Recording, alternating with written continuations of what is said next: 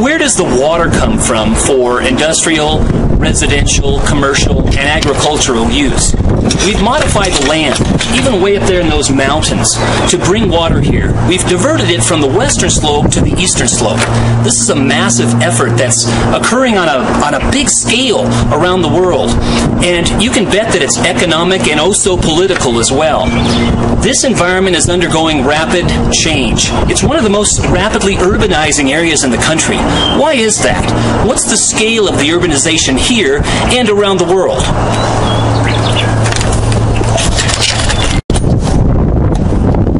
On a local scale, what is the land use like here?